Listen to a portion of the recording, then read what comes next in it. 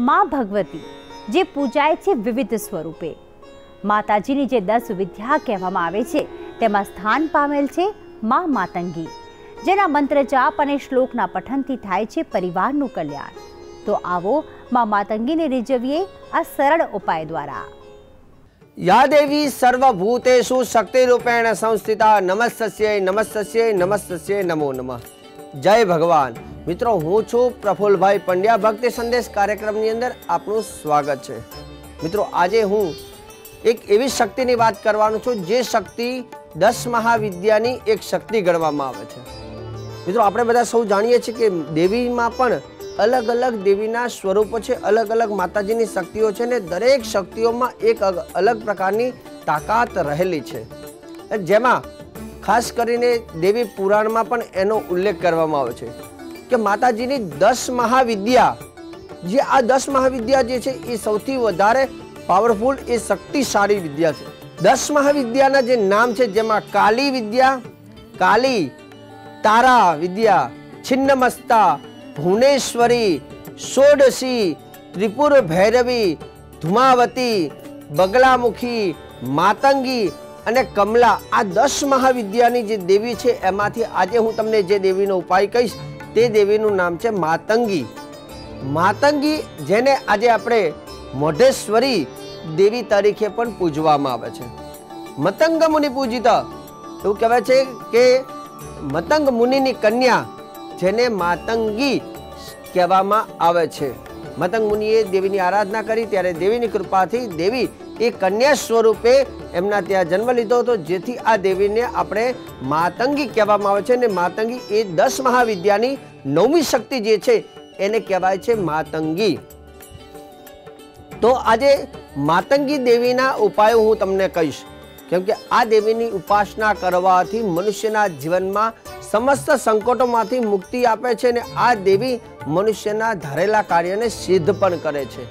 અને જેનું પ્રમાણ આપણા સપ્તસતી ચંડી પાઠમાં પણ એનો ઉલ્લેખ કરવામાં આવે છે. અને ચંડી પાઠની અંદર તો માતંગી દેવીનું ધ્યાન પણ બતાવેલું છે.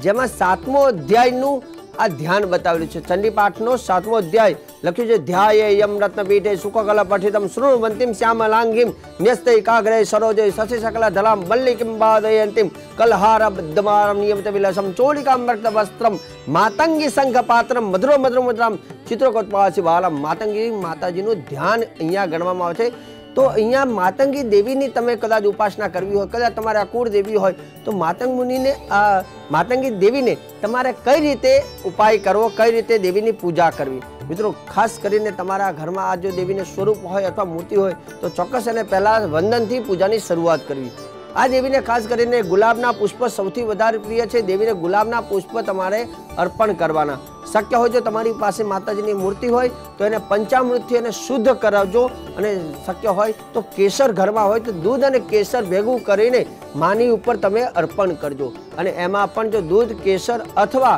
જો કેસર ન હોય તો દૂધ અને ચંદન બંને એકત્ર કરીને પણ તમે દેવી ઉપર સરસ મજાનો અભિષેક કરજો કેમ કે આ દેવીની ઉપર જ્યારે કેસર યુક્ત દૂધ અથવા ચંદન યુક્ત દૂધથી જ્યારે અભિષેક કરવામાં આવે છે ત્યારે આ દેવી બહુ પ્રસન્ન થાય છે અને જ્યારે તમે દેવી પર અભિષેક કરો ત્યારે દેવીનો એક સરસ મજાનો દિવ્ય મંત્ર જે છે એ તમને કહું છું આ મંત્ર ચોક્કસ તમે બોલીને દેવી ઉપર અભિષેક કરજો મંત્ર છે ઓમ રીમ ક્લીમ હુમ મતંગ્યય ફટ સ્વાહા. આ મંત્ર નાનકડો મંત્ર છે, તમામ લોકોને આવડે તેવો મંત્ર છે. ઓમ, રીમ, ક્લીમ, હુમ મતંગ્યય ફટ. સ્વાહા, આ મંત્ર બોલીને દેવી ઉપર અભિષેક કરજો. નાનો મંત્ર છે, ચમત્કારી મંત્ર છે. આ મંત્ર દ્વારા અભિષેક કરી માતાજીને સરસ મજાના ગંગાજલથી શુદ્ધ કરીને સાડી અથવા ચુંદરી અથવા લાલ રંગનો નાળાછડી તમે દેવીને પહેરાવતા રહેજો. સાથે સાથે માતાજીના જેટલા પણ હાથ છે, દરેક હાથ ઉપર કંકુ અને અક્ષત તમારે દેવીને અર્પણ કરવાના રહેશે. હવે વિશેષ તમારે જો કદાચ આ દેવીની આરાધના કરવી હોય, તો બીજું તમારે શું કરવાનું? આ દેવીના બીજા છ નામ છે. જે અત્યારે હાલ તો આપણે માતંગી તરીકે અથવા મોઢેશ્વરી તરીકે પૂજતા હોઈએ છીએ, પણ દેવીના બીજા છ નામ પણ છે. અને એ છ નામ બોલીને તમે જો આ દેવીને છ વખત પુષ્પ અર્પણ કરો છો, તો એનાથી પણ આ દેવી બહુ પ્રસન્ન થાય છે.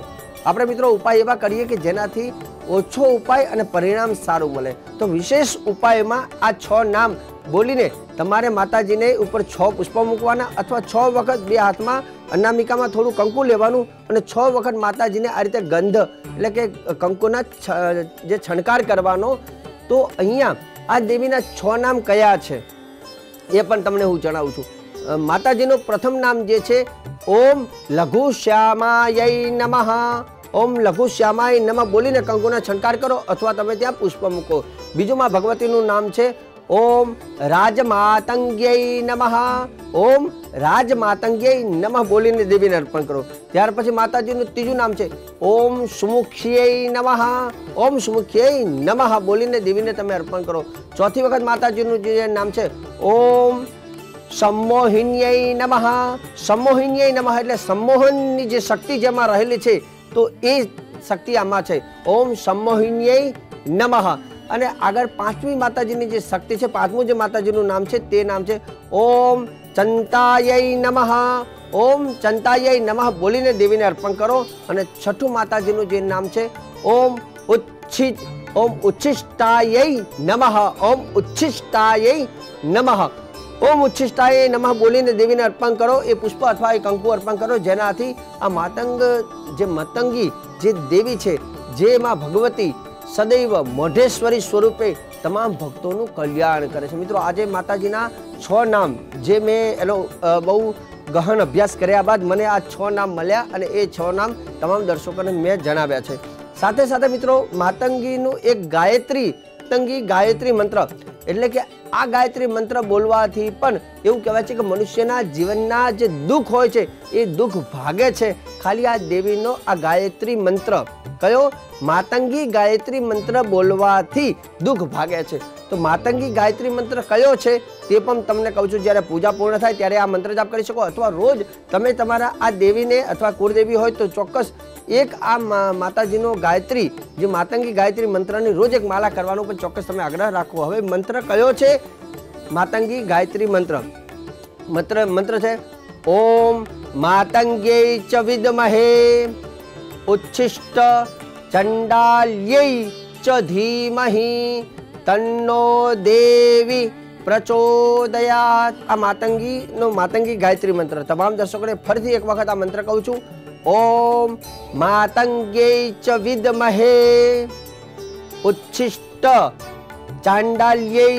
ચ ધીમહિ તન્નો દેવી પ્રચોદયાત આ મંત્રનો ચોક્કસ તમે જાપ કરજો એનાથી માં ભગવતી તમારી પર પ્રસન્ન થશે મિત્રો આગળ પણ આ અલગ અલગ વિદ્યાઓની જે દેવી છે એમાં પણ હું અલગ અલગ ઉપાયો સાથે હું આ કાર્યક્રમમાં રોજે રોજ તમને મળતો રહીશ કાર્યક્રમ જોવાનું ચૂકશો નહીં મિત્રો મને આપો હવે રજા જય ભગવાન મનુષ્ય માત્રનો સ્વભાવ છે કે અન્યોમાં રહેલા દુર્ગુણો જોવા અને તેની ટીકા કરવી પરંતુ જો સફળતા અને શાંતિની પ્રાપ્તિ કરવી હોય તો આ દ્રષ્ટિ બહાર નહીં પરંતુ પોતાની અંદર કરવી જોઈએ.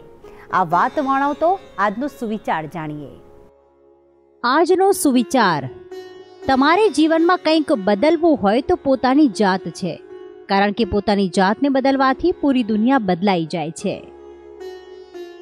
જે પ્રભુની કૃપા પર સાચો વિશ્વાસ મૂકે છે તેના માટે આ કૃપા અનંત વહેતી રહે છે. જેથી હંમેશા ઈશ્વર પર વિશ્વાસ રાખશો અને એ વિશ્વાસ તેના સ્મરણથી જ આવશે.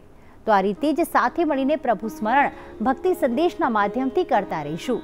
આજે મને આપશો રજા. નમસ્કાર.